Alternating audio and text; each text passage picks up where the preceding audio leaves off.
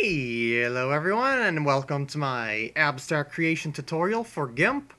Uh, this is basically going to show you how to make abstracts like I do for my channel theme, as well as what I do on my DeviantArt page sometimes. So let's begin. I'm going to start off by making a new image and making it small, 640 by 480 because the bigger the image, the longer it takes to render one of these. What I mean by render, you'll see. Anyway, I'm going to fill in this uh, background black like so.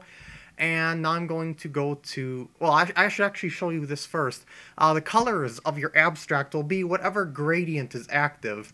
In this case, it's going to be the foreground to background gradient, but I'll show you what other ones look like later on.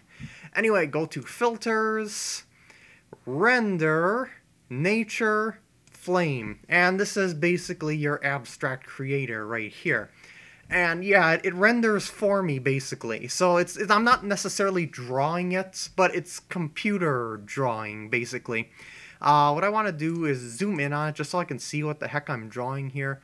Uh, that one's actually that looks pretty neat to me actually. But let's just uh, align it with the x and y axes here. As you can see, y is up and down, X is left and right, but that should be pretty obvious if you know axes and stuff like that.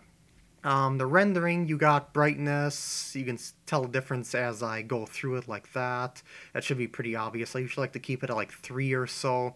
The gamma is like the, the density of your abstract. I'll keep it at like 5 just for the heck of it, just to show you. Uh, contrast, as you can see, 0 will give you nothing. 5 will give you very sharp contrast. I usually like to keep it like right in the center or something like that.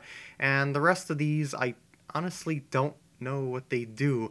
it just doesn't seem to like change anything. I, I, I don't know. See that? It doesn't change anything in the preview up here. It's weird. Anyway, um, now if you want to change the look of this abstract, uh, you would go to the edit option here, and then you got a bunch of choices. Now, um, when it's not the same, it'll do the same one that you were on before. It starts out random, and then when once when you click through these, the, the central one is the one that you're currently on, and the other ones are the ones that you can change it to. So let's just like cycle through them just to show you. And if you click on the middle one, it'll randomize the other ones if you don't like any of the eight surrounding ones. And then you just keep going through until you get an abstract that you like.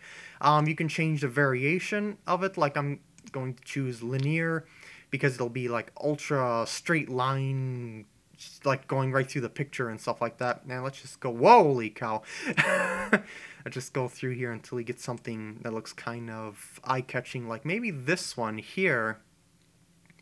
Let's, let's do, wait, actually, yeah, let's do this one here. Then I'll just go to OK, and then you got your abstract here. And then when you press OK, it'll render it for you, and as you can see, there's your abstract. Now, if you want to color it like this, you would have to create a new layer like that, set this layer, click on it, and then set it to overlay.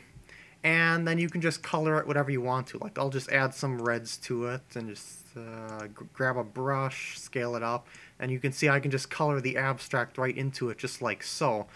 Um, now if you would like to color this like automatically, you would have to select your gradient color. Like the active gradient is the foreground, the background color as you see. So now that you see I changed it to red, let's change this one to, let's just change it to a like blue or something like that.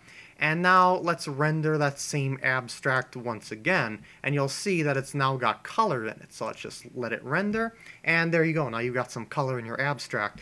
But it always looks kind of pale. Uh, I don't know why it does that. So I just duplicate the layer and then set the upper layer on overlay. And that usually makes it a little bit bolder. Or I darken the colors. Uh, whatever. Whatever you need to do to make it look good, basically.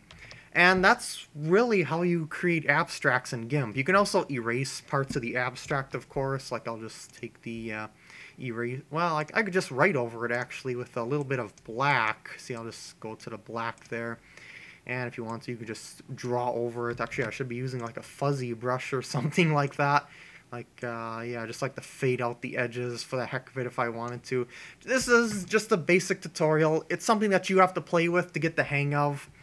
Uh, so I'll just leave it at that. I hope you enjoyed, and I'll see you later.